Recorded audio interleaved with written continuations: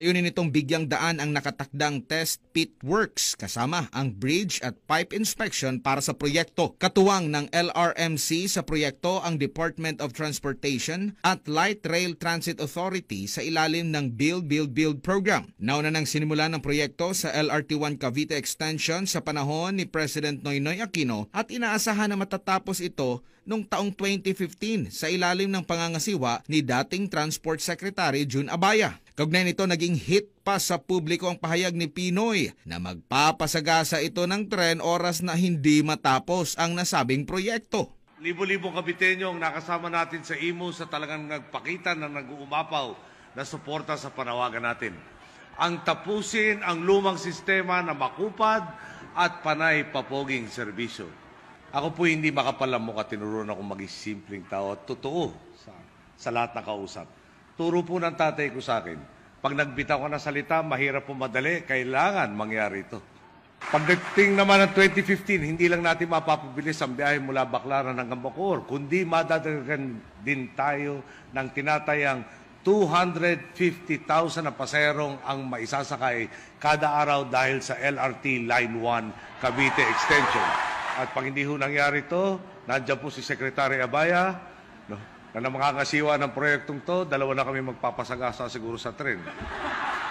Pinakita ngayong araw sa publiko ang mga bagong dating na isang daan at dalawampung bago ng tren na gagamitin para sa LRT1 Cavite Extension Project. Mula sa nasabing bilang, nasa walong bagong bago ng tren ang pinasinayaan sa pangunguna mismo ni Transport Secretary Art Tugade. Ayon pa sa kalihim, ngayong taon ay itatakda ang partial operability ng LRT Line 1 Cavite Extension Project na inabot pa ng labing siyam na taong paghihintay bago ito napakinabangan ng taong bayan. Hindi lingid anya sa kaalaman ng kanyang ahensya na marami ang nagduda sa kasalukuyang administrasyon pero ang nasabing programa ay nagsilbing larawan ng katuparan ng mga naudlot na pangako nung nakaraang administrasyon.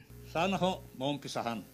Sana ho as we expect as we accept this thing, we made a commitment to the people that yes, yes, yes, we will try to make it partially operable before the end of this year.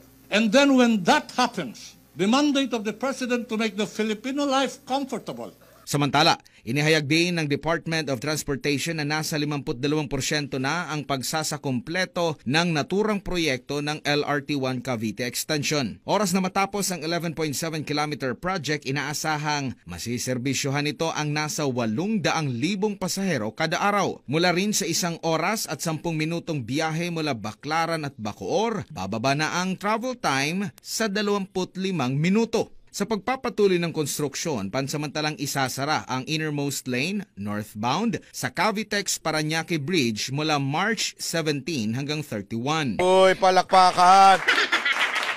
Speaking of Cavite, di ba dyan yung may magpapasagasa? Ano nangyari doon? Nangyari? Nangyari? Ito ay sa mga stasyon ng Redemptorist, MIA, PITX, Ninoy Aquino at Sukat. Target ang partial operability ng ilan sa mga stasyon. Grabe, no? Hindi mo ba kayo natutuwa?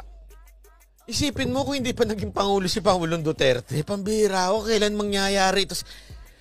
Ito nga eh, tayo manghang manghana tayo sa ganito. Pero sa totoo lang, napag-iwanan na tayo ng iba't ibang bansa. Alam niyo yan, mga, taga, mga Pilipinong taga-ibang bansa. Doon nga sa London eh. Ito, totoo ito ha. Doon sa London, maglalakad ka biglang, huy, papaluin ako nung kasama ko na taga London. Bakit? Tumingin-tingin ka kasi may tren na dumadaan dyan. Yung tren nila, walang harang-harang. In between building ng mga mall, may dumadaang tren. Wala akong biro. Di ba ganyan sa London? Oh, napag-iwanan na ho tayo eh. Normal na ho yung tren dyan. Ang ganda-ganda ng mga, hindi lang ho yan sa London, hindi lang yan sa Japan, hindi lang sa Singapore, sa Malaysia, sa Thailand. Tayo, mga ngamangga tayo. Ah, may dumating na bagong trend. Palakpakan, palakpakan. Oh. Alam niyo kung bakit? Tama naman na ikatuwa natin. Kaya lang, ibig lang sabihin nun, sobrang napag-iwanan tayo. Nung panahon ni Marcos, maganda ang takbo eh. Di ba? Ang ganda na ng takbo. O lahat ng bansa, galing sa gera yun, di ba? Galing sa, ano, pantay eh. Tayo nga lamang na eh. Nauna na tayo eh. Yung mga Korea, eh, huli pa yan eh. O, Ta nauna na tayo eh. Tapos biglang tumigil na. Eh, pinulitika na lahat ng nila Aquino Nauna na lahat. Lahat ng bansa umasenso na. Lahat tayo na pag-iwanan because of the best constitution in the whole world. Sabi ni Davide. 1987 Constitution is the best constitution in the whole world. Napag-iwanan na tayo, anak ng animal yan. Oh, tapos, wala nang nangyari. Kailan uli nagising? Ngayon na lang. Kay Pangulong Duterte na lang nagising uli lahat. Hindi nyo ba naiisip yon Na tayo, nagtataka tayo, ah, gandang-ganda tayo ngayon dito. Eh yung iba, ala, as in sobrang gaganda. Yun nga lang bullet rin sa Japan eh. Hindi lang isa, marami na eh. Oh, di ba? bago matapos ang taon. Ito yung konting bagay o bahagi na kung saan ginagawa namin yung making the Filipino life comfortable. Pinaplansya naman ang mga issue tulad ng right-of-way sa tatlo pang nalalabing stasyon ng Las Piñas, Zapote at Nyog sa Cavite. Oras na makumpleto, iiksi ang oras ng biyahe mula Quezon City hanggang Cavite. Tatagal na lang daw ito ng 70 minuto. Isipin mo, from Quezon City to Cavite, how come? Ang dami pa namang booty shaker dyan sa Cavite. Nandyan yung mga ano eh, mahilig sumayo ng pabuti-buti shake ng gano'n. Malayong malayo sa karaniwang dalawang oras o higit pang biyahe. Ang biyaheng Baklaran Pabacoor magiging 25 minutes na lang mula sa dating higit isang oras. Pero ang tanong, susundan ba ito ng taas pasahe? Lalo tigit may pandemya ngayon. Eh kung maaari, ayaw ko talaga magtaas eh. Pag gumanda yung serbisyo, naging happy yung tao, then you have created the environment na magtaas na, ng presyo or pamasahe. Or... Ang kabilang dulo naman ng LRT-1 target paabutin sa Grand Central Station o Common Station sa North Avenue sa Quezon City sa Disyembre. Sa Nima Refra, nakatuto, Ang ganda talaga, 24 oras. Ito namang GMA, parang natural naman, maniningil naman siguro yan.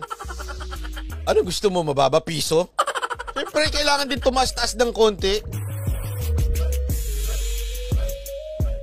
O tama to si Clown Prince. So iyak na naman si Nograles, 'di ba? Sa achievement ni Togade, sasabihin na naman ni ni Nograles na incompetent si Togade. Ting- eh, sana nga lang eh. Sana lang, ha? Ito lang ang sa akin. Sana lang, eh tumuloy-tuloy ito. Kasi pag hindi natap pero marami namang matatapos bago mag 2022 eh. Sabi naman ni Pangulong Duterte, tapusin nyo na. Eh. Itulak nyo na talaga, siguraduhin nyo nang matapos bago mag magkapalitan ng presidente. Kasi pag nagkapalitan na naman ng presidente, pag yung kalaban ang ang pumalit dyan, sigurado ako, sasabihin na naman nila, ay wag nyo ituloy yan. Bakit? Duterte, Duterte ano yan eh, legacy yan eh. Oh, pagkakalaban. Buti nga eh, si Pangulong Duterte hindi ganun eh. Kung ano yung nasimula nun, sige lang, tuloy nyo lang. Wala import, di na importante kung kanino yung lintik na credit na yan. Ang importante, guminhawa ang buhay ng mga Pilipino. Eh kaya sana ho, eh yung susunod, eh ganun din. Eh basta ito lang masasabi ko, it's either Sara Duterte o Bongo. Pero malabo si Bongo eh. Ayaw talaga nung tumakbo.